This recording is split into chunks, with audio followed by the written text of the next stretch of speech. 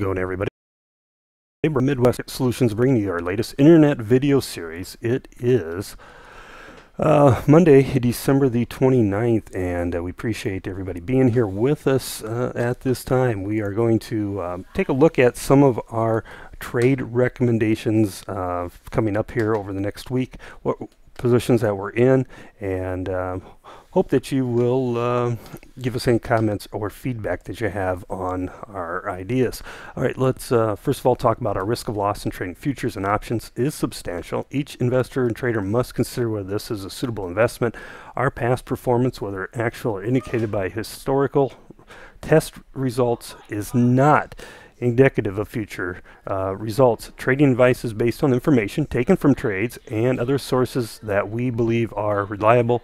We do not guarantee that such information is accurate or complete and should be not relied upon as such. Trading advice reflects our good faith judgment at a specific time and may change without notice. There's no guarantee that the advice we'll give will result in profitable trades. And of course, everything here on our website is copyright of 2014 of Midwest Market Solutions. All right, since we've uh, talked about that here now, let's uh, go to some charts here. We are in a soybean trade. You can see a chart here of the soybean market. We got in uh, right in this area, right here, right in the thick of this uh, market. That's kind of what you would look at and say uh, you can make a case that we've got support here around this 1032 area and uh, we're in more of a sideways pattern than anything uh, since really since December 8th. So likely to see this market break out of this uh, pattern and we tried um, right in this early part of that time frame tried to break below it and are back into the sideways mode. And I think once we get above this area we can project this rally going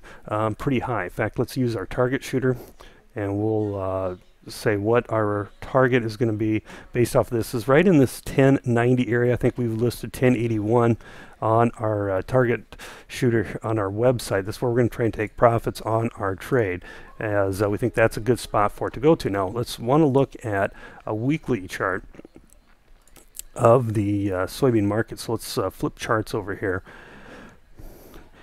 and we're going to look at soybean market and let's look at a pattern that's developing look at this little wedge or triangle pattern as well that has uh, been in the works here since November the 14th and we kind of saw it on the daily charts little glimpses of it but this pattern is uh, pretty predictable as far as uh, which breakout occurs. If we break out to the upside, which I think we're going to do uh, this week, and we could confirm that by getting above uh, the 1067 high, that tells us we're going to have a rally up to at least this 1090 area. This would be the resistance from this weekly chart up in this 1090, 92, 93 area. That would be our uh, projection. Of course, if we break to the downside and probably would need to go below the 1023 area to uh, see that breakout confirmed. Your next support is down here at this 990 area down in this area. So um, pretty good indication of market's going to move here this week uh, with a breakout one way or the other. Of course, you notice our indexes here. The uh, fund index at 95%.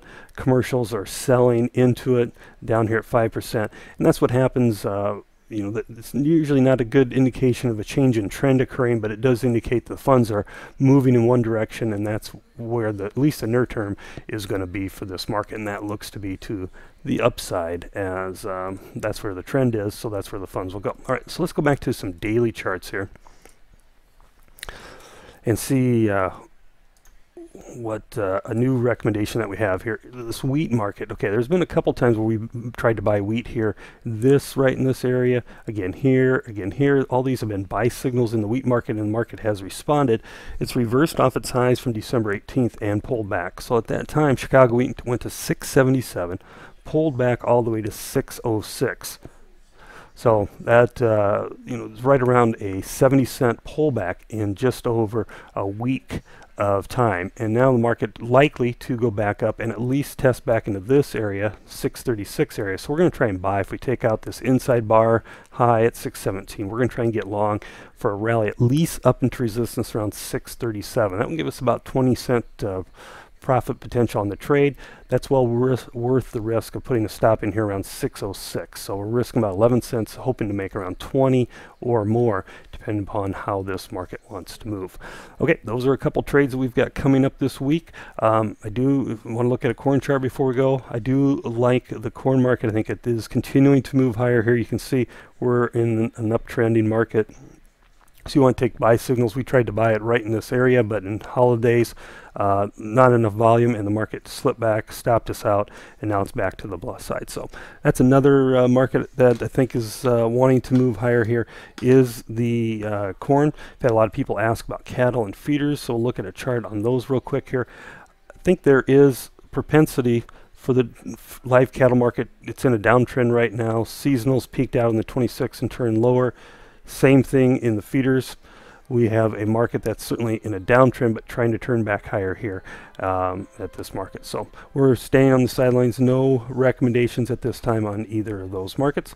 Hope you have a great day, everybody. Uh, good luck trading. Oh, wait, we should talk about here our uh, trade history from 2014. If you start with a $10,000 account, we had uh, about 75 trades so far this year. That doesn't count the soybean trade that we're in or the wheat spread that we're in, um, but it does indicate we've had 44 wins, 31 losses, and our profit is 27,000 for the year. Um, if you use our money management calculator, we, you would change up instead of just doing one contract. This represents, this 27,000 represents 75 trades one contract each. This profit here is 86,000, substantially different, and um, represents multiple contracts uh, to get to that area. So uh, give me a call. We can talk more about uh, that, but uh, we're going to post this on our website uh, in the month of January so you can take a look at uh, each and every trade that we did. Have a good day trading. Good luck. Give us a call if you have questions. It's been Brian Hoops.